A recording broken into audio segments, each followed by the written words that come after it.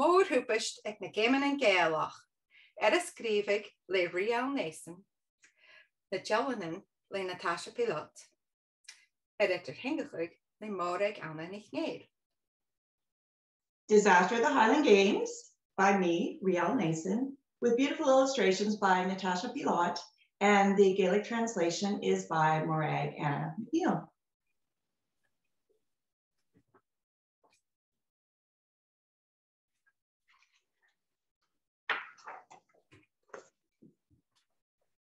Bhí Kate rí dansa céalach gach seaachcin an an glas, ar sons gan bigí dúnsaite na dáin a bheith cearst. Kate was a Highland dancer. She took classes each week so she could learn the proper technique. Dúnsaí hí a háirta gan na híineig is mar a luisiúigh í a casan, mar a léimiigh í go súndach is céim nó gabhas nasa. She learned to turn out and point, high cut and leap, assemble, change, change, and her brush, beat, beat.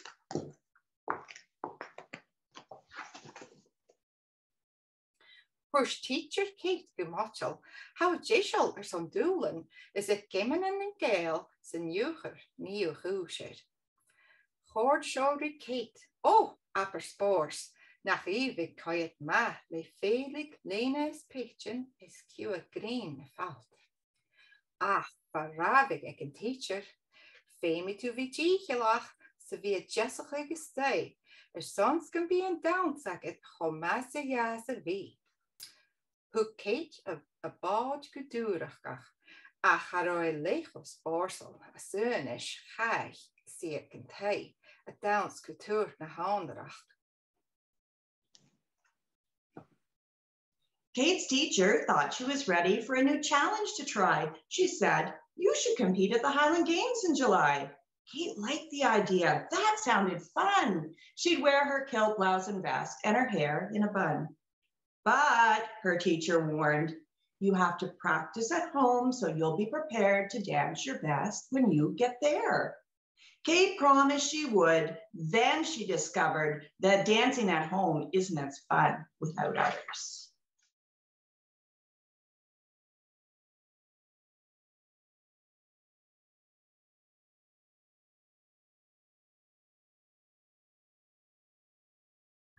Hello, Falcha.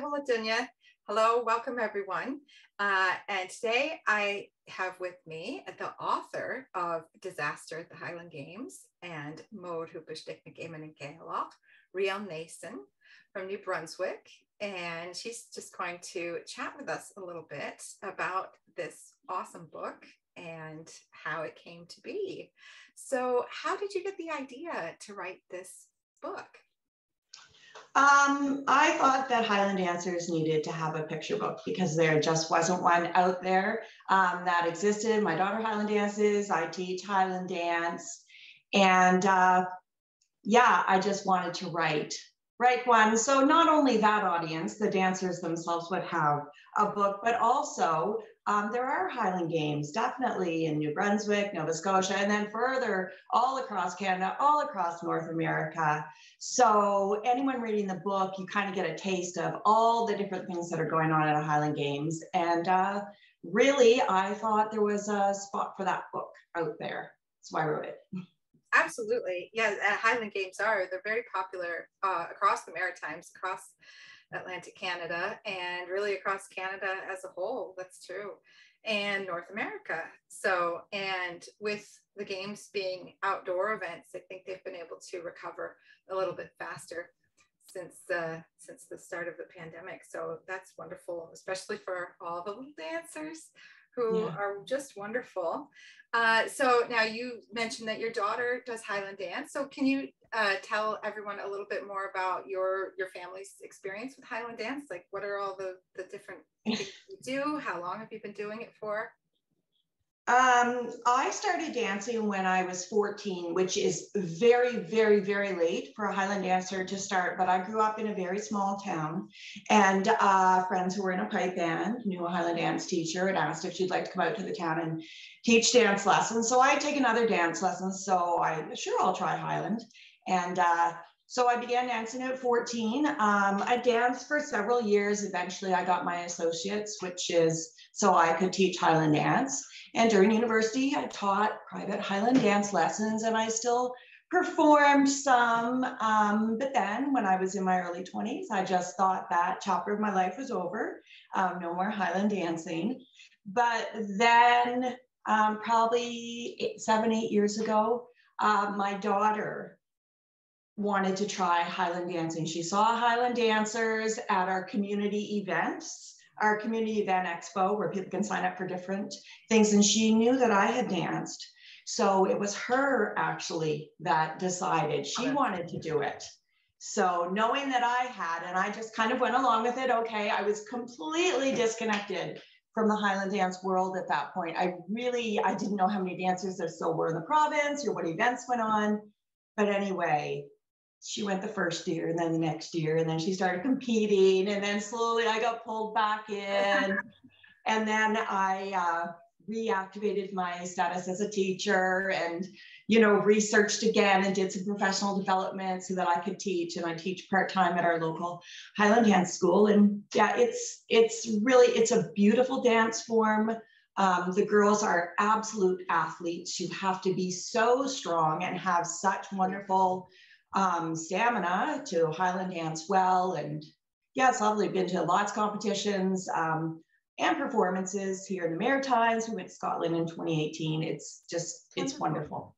Yeah. What, did you go to Scotland for? Was it a competition or like an exhibition? Uh, we went to tour around, but also we centered our trip around um, the Cowal Highland Gathering, which is the World Highland Dance Championships. So oh, we we went to that, and several dancers from our school got to compete. Okay. Um, anyone anyone that's a premier level dancer can kind of compete in the the general um, the general world championships, and then they narrow it down eventually through heats and awards to get to the finals. So fantastic! Oh, that's really great.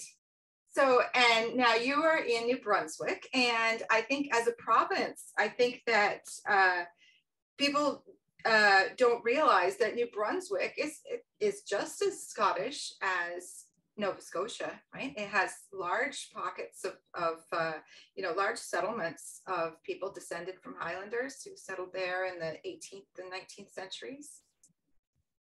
Yeah, uh, definitely. I mean, there's lots of lots of Scottish heritage here. Um, I think in Nova Scotia, you probably see more events um, or like more there's there's more dancers in Nova Scotia um, and yeah more Highland events in general but definitely in New Brunswick we have them as well. Mm-hmm. Yeah, there's there's uh, the what what would be the Highland Games closest to you? I think there's I've seen the Moncton Highland Games advertised.